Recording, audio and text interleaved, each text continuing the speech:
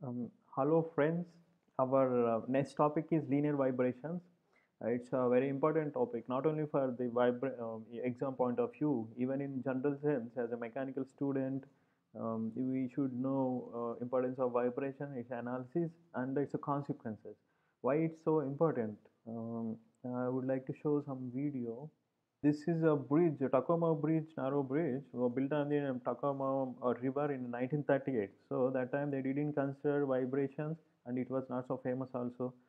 So these vibrations are caused by the very strong winds, and uh, it's um, you know uh, vibrating with a huge amplitude. And they didn't consider damping forces to nullify that amplitude because they, they don't know vibration effects in those days.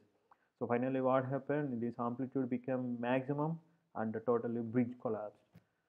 So it's happened, you know, within four months of the bridge construction. You can see the total destruction.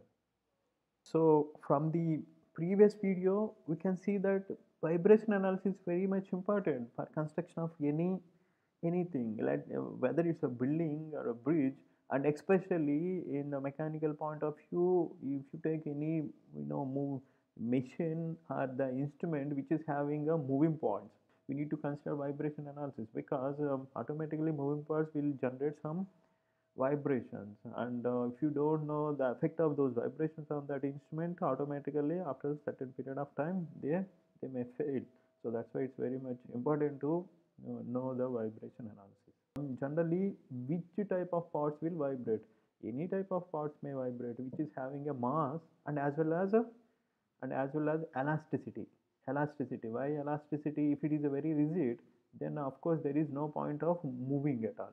And uh, if the point is you know movable to certain amount then automatically it should be having some more elasticity.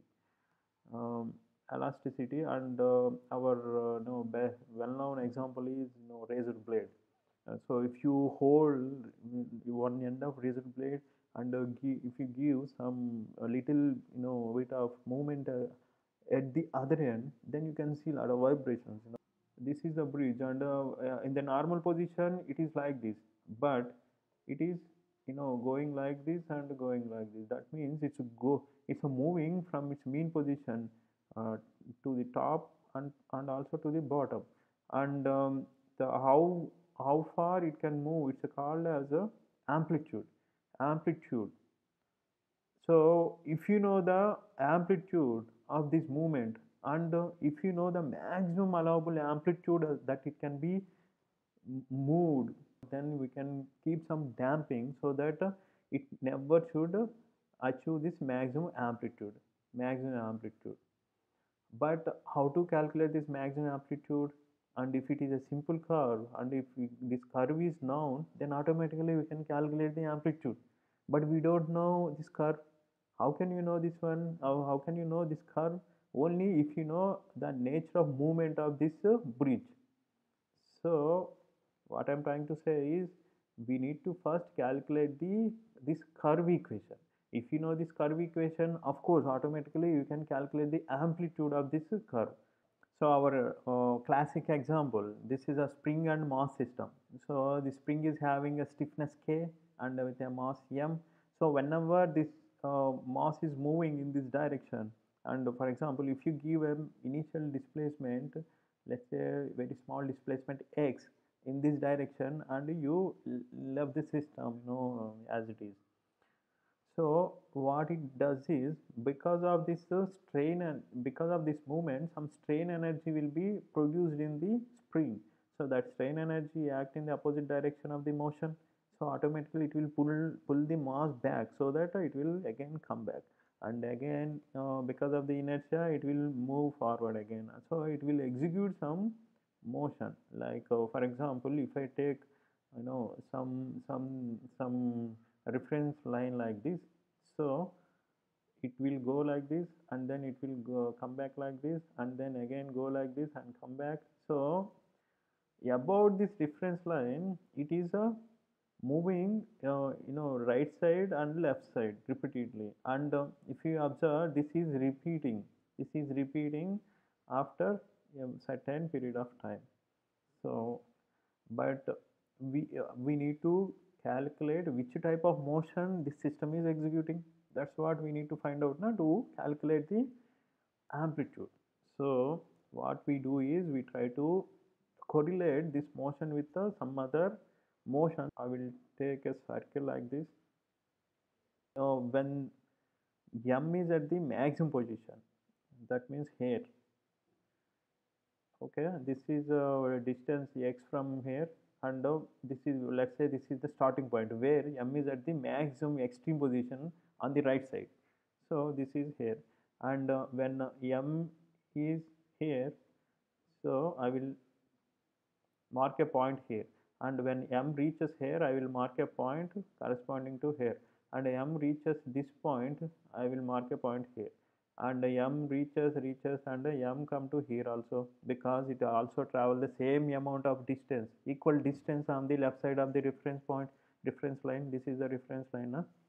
so it, it will travel the same amount of distance uh, um, you know left of the reference point reference line also so if i mark this point here this is the point and this is the extreme and this is the extreme point corresponding to here. So this is the extreme point and again m start moving in this direction after coming back to here. So again if you draw the same thing it will do like this at the middle of the reference point or, or at the reference point. This is a point and this is so I can generalize this to and fro motion of the spring and mass system into a particle which is making a circular motion with a radius r where r is equal to the maximum distance maximum distance of the mass that that is traveling from the reference line. So this is nothing but r and uh, that is nothing but uh, maximum amplitude maximum amplitude. So this is uh, moving like this. So here what i do is this is the for example theta. And um, this linear motion here is automatically translated into the rotational motion. And if it is a theta and this is a uh, rotating like this we can write uh, what we can write is uh, theta equal to omega into t. So we can write like this. And uh, this is a moving along this circle like this. So here my main aim is to find out the motion executed by the mass. So here what i do is uh, at this position for example this is at a distance of x from this one. So and uh, it is changing with the time. So this can be write as written as x of t equal to r into cos theta where this are again written as a cos into uh, cos of omega t where omega is the angular velocity with which this particle is rotating on the circle. Finally, I have derived some equation that represents the movement of the mass because this this this motion is equivalent to the motion of the spring mass system. So this is what we derived, but we don't know which type of motion it is. So what I do is I will differentiate this one again. Here omega is a constant because it's a moving with the constant angular velocity. So this is nothing but x. This is nothing but x. And uh, actually this is x dot x double dot means this is the acceleration of that particular or acceleration of the mass mass in the spring mass system.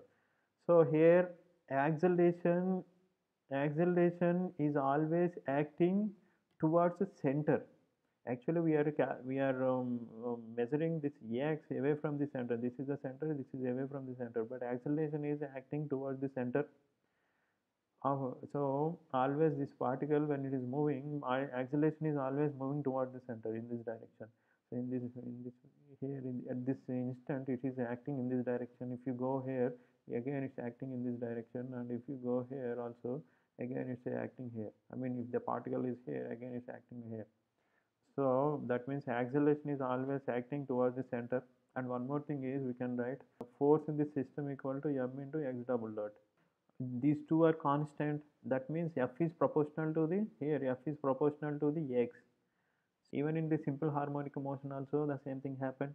So when the and if you observe this particle is uh, you know traveling in this direction so after one revolution it's again coming to the same position.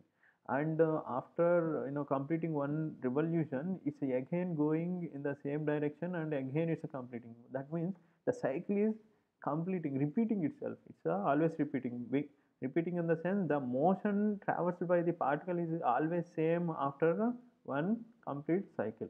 It's a repeating motion with these two these two conditions the what are those two conditions here? Force in the SHM is proportional to the distance distance of the particle from the mean position. And also the acceleration in the SHM will always toward the uh, always acts toward the center. So from these two we can conclude that um, vibration vibrating systems are executing SHM motion. So we derived these two equations. And if you club these two equations it will become x double dot and uh, in place of r and cos omega t we can write uh, x. So if you you know substitute x in this equation this automatically becomes omega square into x equal to 0 so this is the second order differential equation. So if you solve this differential equation then we will get the equation in the equation of x. Whatever vibrating system that we encounter so first of all we need to we need to derive these you know equation of motion into this form. So once if you derive the form into this one that means that automatically represent the SHM motion. So once it's a represent the SHM motion we can find out the solution. So whenever I say x that is uh, x in terms of t. So x dot equal to and uh, from this diagram this you know we are measuring the uh, moving point from the reference point O. So when but here point is starting from a maximum position.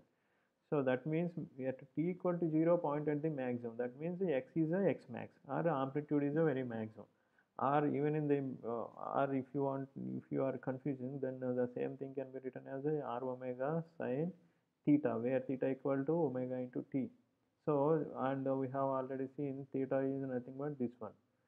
So x dot is uh, we need x dot maximum. So when is maximum? When sine theta equal to when? When sine theta equal to 1 so theta equal to pi by 2 means x uh, velocity is maximum at the mean position. So x max x dot max max equal to r into omega at theta equal to pi by 2 or 3 pi by 2 and uh, when uh, theta equal to 0 or 180 that means when the, when the point is at the extreme position at the extreme position so x dot equal to 0 when theta equal to 0 or 180 degrees. And uh, the same way acceleration. So acceleration equal to so again this is a maximum this this magnitude. We are talking about magnitude. This is maximum when theta equal to 0 or 180 that means ext extreme position. So at extreme position the, that is becoming maximum. When theta equal to 0 or 180 degrees. And uh, acceleration is becoming 0 when theta equal to pi by 2 0 at theta equal to pi by 2 or 3 pi by 2 so velocity is maximum at here, uh, 0 here and velocity is um, maximum at mean position. So what, what does it physically represent? See this um, particle, this mass, for example, spring mass, in, um, this mass is you know going like this at extreme position. The velocity is becoming 0 and again it's coming back. Actually, it's uh, changing its direction. That means here the change in velocity, change in velocity is very high here. So that is nothing but acceleration. So whenever the change in velocity is high automatically acceleration become maximum. So that's what here happening. So velocity is becoming zero but acceleration is becoming maximum. And at the mean position the velocity is reaching maximum. For example if you take this first off first off here when the particle reaches the mean position velocity is max and even for the second half also the velocity is maximum at the mean position that means there is no change in you know velocity from the first part to second part So when there is no change in velocity, automatically acceleration becomes zero. So that's why acceleration zero at 2 pi by 2 or 3 pi by 2.